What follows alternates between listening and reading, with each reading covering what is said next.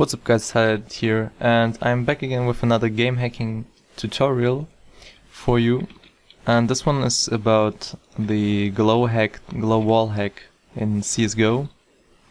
So it's a pretty simple one, and why is that? Is because the game already gives us the the functionality to make glow. You know, if you're spectating and stuff, you already see the glow, and I think I mentioned that in my first uh, hackers uh, game hacking uh, tutorial that the game gives us the option to make it glow.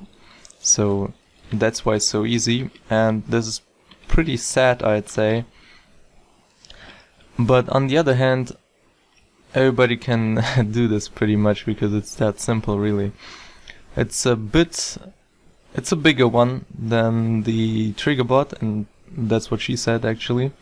But it's more code to write, but it's at a lot of points it's the same as the other tutorials and if you didn't watch them I suggest you to watch them first so you understand more what's going on or even watch from the first tutorial because you'll like you'll get sad from not understanding anything if you just if you have no experience or just watching it just like that so I suggest you to start with the first one so you understand more and maybe have fun doing this and not just copy and pasting.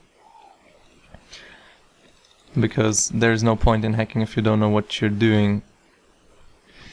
So yeah, you can see um, they're pretty much very very beautiful. Blue glow, I like that. It's so intense. Just one more run I'm gonna put SV cheats on. And yeah just no clip to the place right there where they're at. There we go. So yeah you can see they're glowing through the walls and stuff. Uh, that's pretty nice. And we'll be looking at the code in a sec. I'm gonna close the game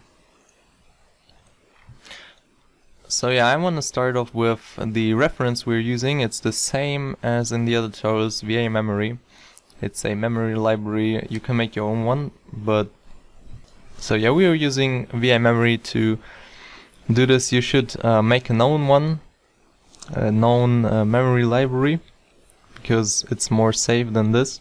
So we're using system, but that's yeah, that's pretty basic. So we're also using threading so it doesn't uh, get the, too much resource uh, while doing the whole process. And we're using diagnostics as usual to get the uh, client address from the process CSGO from the client DLL if that makes sense. So yeah, we have this process string which is CSGO, so it can be any other game, but because we're doing this for CSGO especially, uh, I have CSGO here. So we're making an object from VA memory with the process and then we check if we can get the module address and the module is client DLL, so we're trying to get its address, because if we can get it, then the game is running, and that's what we want. We want the game to be running, so we can start hacking.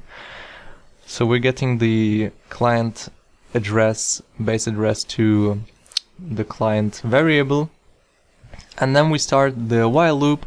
So we need two structs here, and the structs are built like this. So a float, or four floats and two bools, the first one is RGB and the alpha, but it doesn't really matter uh, which which comes first because you select them from uh, the code. You select them from the struct in the code later. But I do it like this because usually you do it RGBA. So that's the reason I do it uh, like this. And you call the structs, for example, enemy and team, and then you set up the colors which you want for example minus so 1 is this color and 0 is uh, like no, none of this color. And alpha is basically how much you see them through walls. So I'm doing red full for enemy and the rest is off.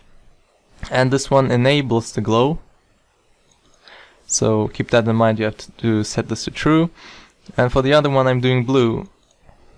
So basically that's simple. And then I need an Then I need an int uh, address so we can build up the address every time because we know how VA memory works, you know.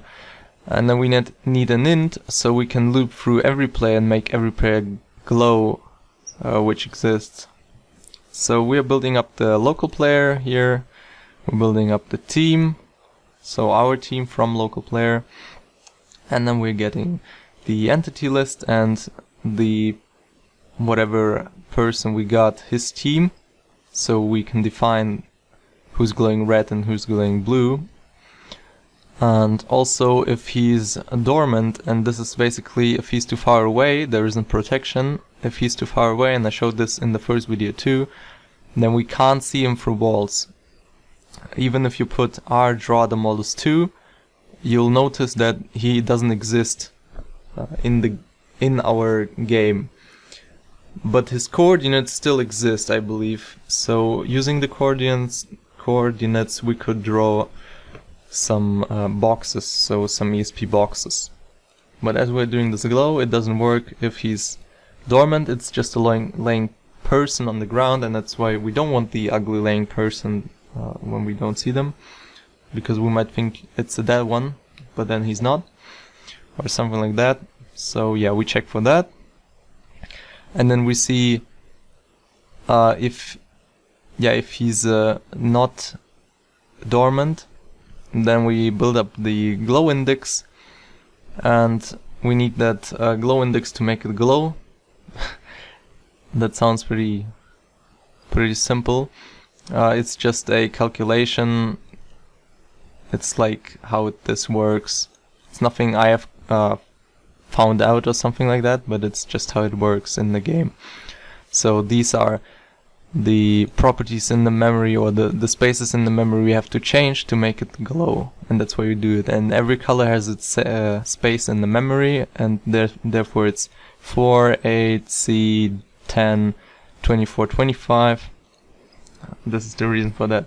So we always have this calculation which we make the next uh, glow object basically you could say. So then I have a calculation for current which is glow object plus calculation. And glow index is an address and glow object is an address. And all these obviously also addresses you need to find find them either on the internet or by yourself. Uh, I'm not going to show this because I mean, I'm not going to show you the addresses because in current state they work, but in the next update they might be not working and I don't want people to add me and say the addresses don't work or something like that because that's really annoying, you know.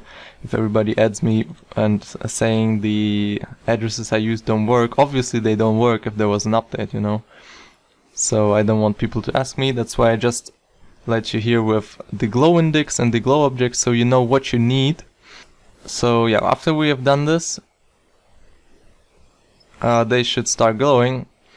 This whole process makes it uh, glow. It's basically we repeat for every person this process and we also do that for you know this uh, if statement if he's on my team then this will be blue glow and this will be red glow very simple so yeah I don't think there's anything else to left to say about this and this is really big I like it more like this, but I wanted you to see better, but I couldn't explain as good when it's so big because I need to refer to the rest of the code.